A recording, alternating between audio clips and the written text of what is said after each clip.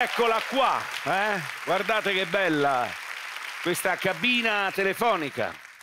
Questa è un'icona di Londra, è una Red Telephone Box che poi vedendola così, a me questa cabina telefonica londinese ricorda un po' casa. Dice possibile, come mai? Sì, credetemi, perché queste cabine telefoniche le facevano a Dragona, verso Ostia Antica, vicino a casa mia, c'era la Prosider che faceva, ora non c'è più la fabbrica, queste le facevano e poi le mandavano a Londra. Io vedevo questi camion pieni di cabine londinesi che andavano via e io a Londra, dopo tanti anni, 30 anni dopo, ci sono andato a Londra, non tanto per la città in sé, che me fregava, ma tanto per andare a vedere dove i londinesi l'avevano piazzate tutte queste cabine. Hai capito? Londra, Londra Guarda che belle cabine, Londra, vedi? Londra, bella città, 9 milioni di abitanti provenienti da qualsiasi latitudine. Vedi Londra, che la rendono la città più multietnica d'Europa. Londra, crogiuolo di stili, culture e teatro di qualsiasi innovazione. Sì, perché nella vecchia Europa Londra è senza dubbio la città più aperta alle novità. Anzi, le novità Londra si può dire che le crea. Eppure un posto così proiettato verso il futuro, una città così piena di civiltà, se tu turista capiti a Londra e vai in un albergo, magari un bell'albergo, un bell'albergo chic, expensive, no? 6-7 stelle d'albergo, 1000 pounds a notte che tradotto in euro sono 1200 euro circa. Beh, in una di quelle stanze, no? Belle, con a terra moquette, e con letto a baldacchino, eh, con attaccate alle pareti i ritratti eh, di lord inglesi, tutti morti nel Settecento, perché pare che nel Settecento in Inghilterra ci sia stata una moria Lord uno dietro l'altro. Infatti da, già da ritratto tu dici, lo guardi, dici, madonna, questo come stava male, nell'Ottocento questo non ci è arrivato, sicuro. Ecco, e poi c'è la parete di fronte col mobiletto apparentemente innocuo, invece eh, gli spigni un bottone, esce dal mobile un televisore gigante 60 pollici già acceso con la BBC incorporata che ti dice le notizie. Papà appear in Italia, London, the United Kingdom. In, inglese si è incopato che tu hai poche lezioni, no? sai solo che the cat is near the window e the pen is on the table e quindi hai difficoltà a capire Londra, questa bellissima città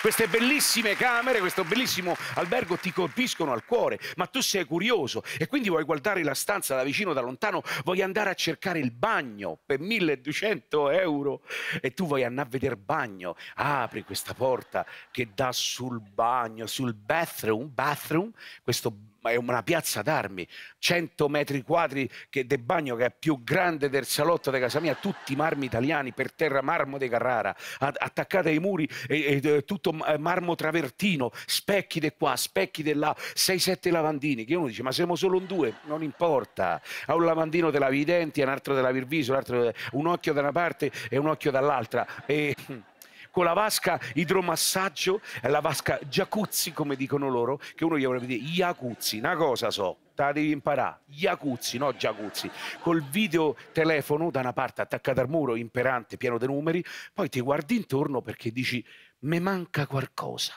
c'è tutto, pure il phone, però Ervater, Erbagno, a casa mia c'è Ervater, ma qui non lo vedo, se saranno scordato.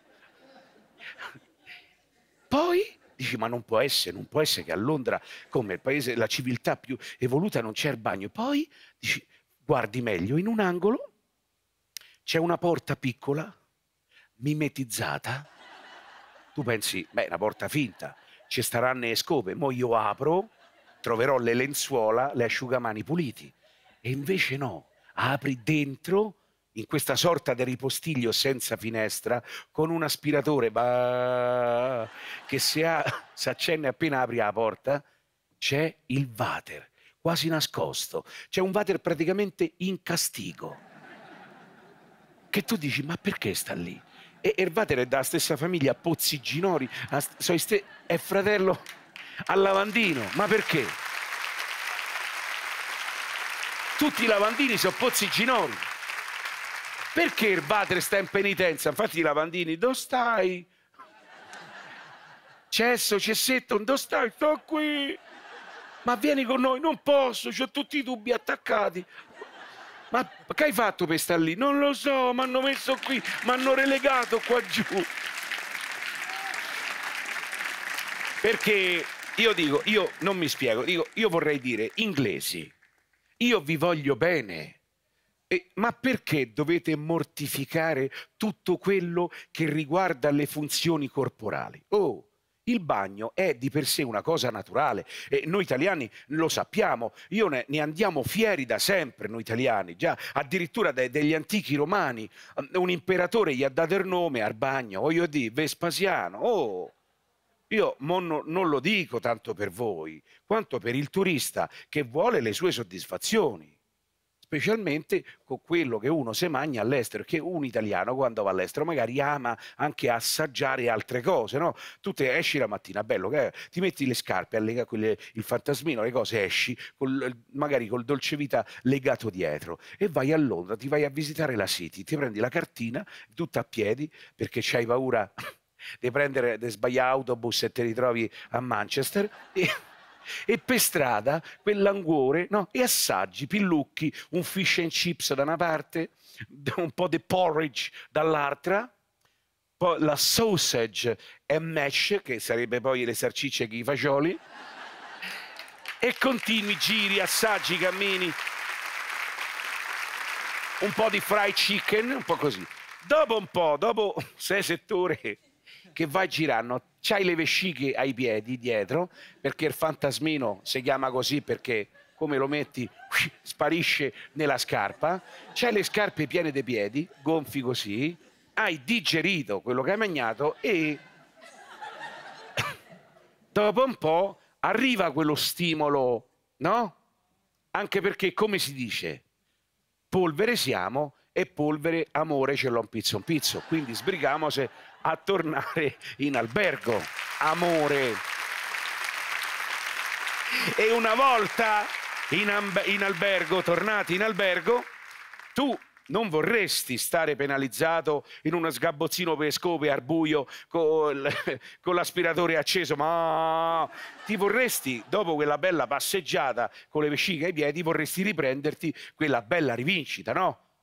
Col panorama davanti. Cioè tu vorresti un bel bagno con un bel finestrone da 20-30 metri quadri che dà sul London Bridge, il water alzato da specie di trono, che guardi Trafalgar Square, vedi il cambio della guardia, addirittura su Buckingham Palace devi vedere perché io, cari inglesi, per 1200 euro a notte, io voglio vedere la regina che mi saluta mentre la faccio. Io per 1200 euro a notte voglio il ciambellano de corte che mentre io vado al bagno annuncia bom bom bom Mr. Brignano made it all la fa tutta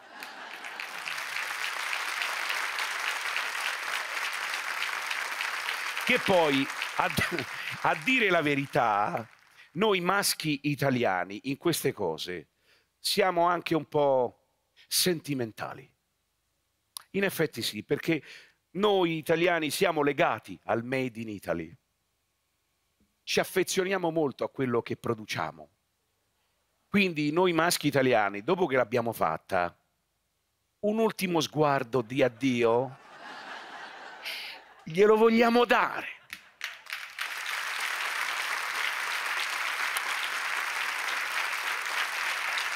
Tu lo vedi lì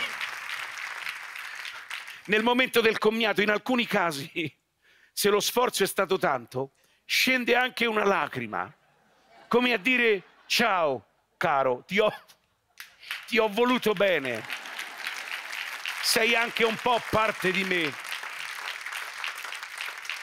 A dirla tutta, me somigli pure, abbiamo la stessa temperatura corporea. Oh, salutami tutti gli altri, eh? ciao, ciao. Poi, non senza un velo di tristezza, tiri lo sciancone e ciaone, addio, non lo vedi più. Questo in Italia.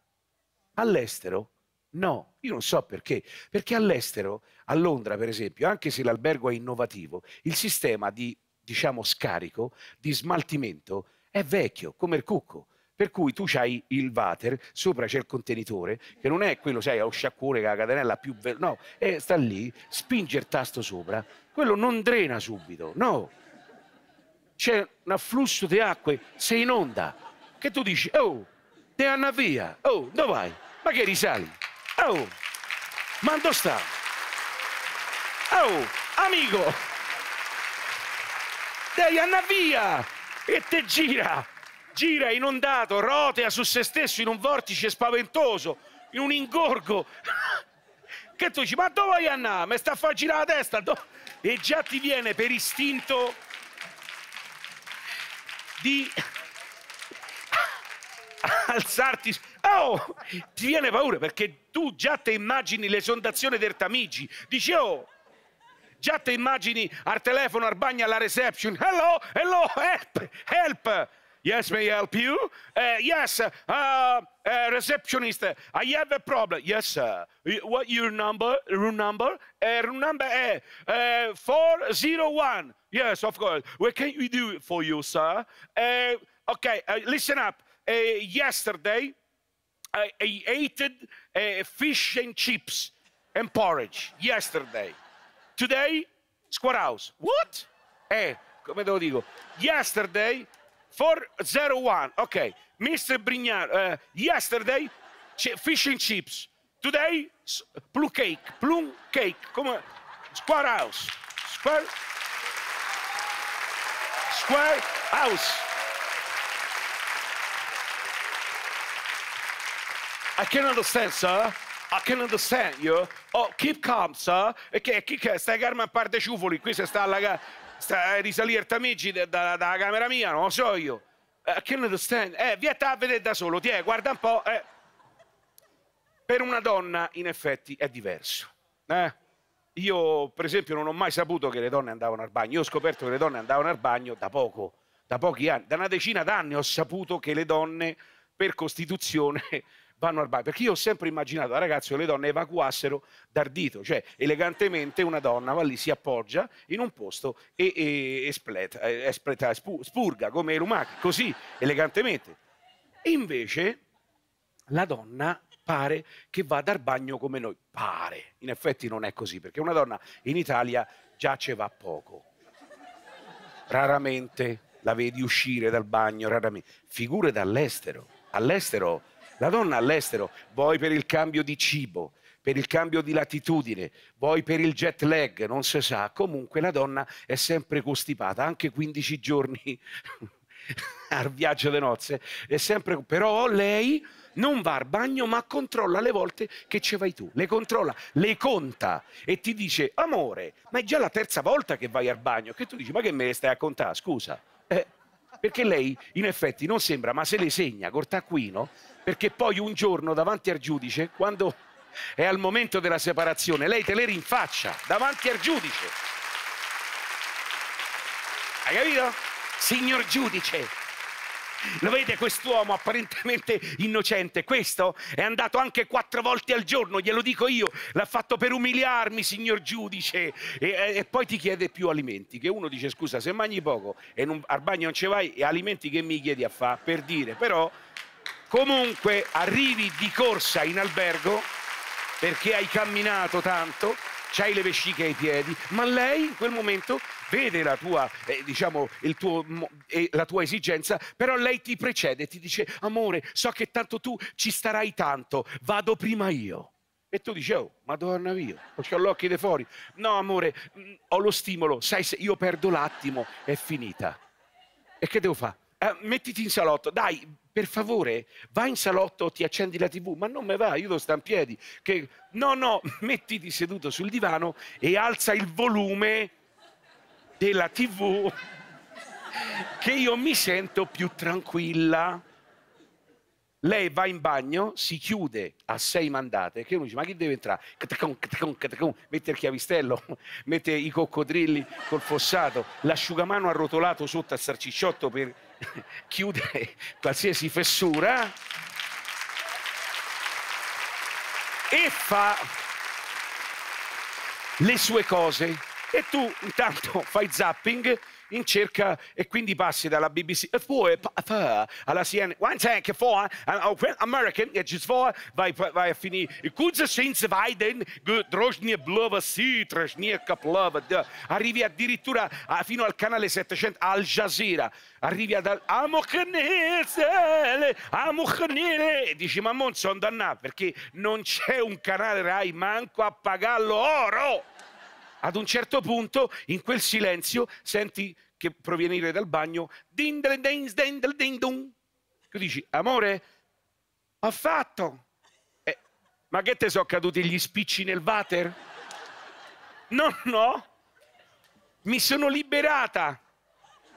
Apri un po' e lei apre, non ci credi, vai a vedere. Amore, eh, hai visto? Madonna. Era quasi un mese che non andavo. Guarda quanta. Ma che sono passate? I capretti del presepe? Che è sta roba? Ma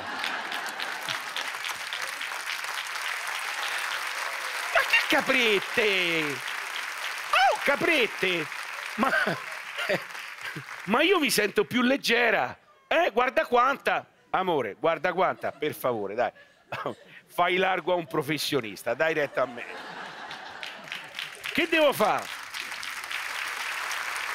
Vado di là, no, esci dall'albergo. Alza il volume a cannone, anzi fai scattare pure l'allarme antincendio. Apri le finestre che deve fare corrente, che qui a un mio cenno io scateno l'inferno.